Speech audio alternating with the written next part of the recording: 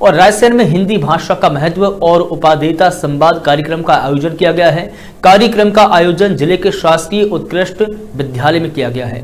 इस कार्यक्रम का शुभारंभ कलेक्टर अरविंद दुबे ने सरस्वती पूजन और दीप प्रज्वलित कर की है। इस मौके पर कलेक्टर दुबे ने छात्रों से कहा कि अब प्रदेश में हिंदी माध्यम से भी मेडिकल की पढ़ाई होगी।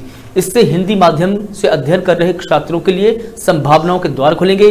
बता दें कि केंद्रीय गृह मंत्री अमित शाह 16 अक्टूबर को भोपाल मेडिकल की पढ़ाई के लिए हिंदी माध्यम पुस्तक का विमोचन भी करेंगे।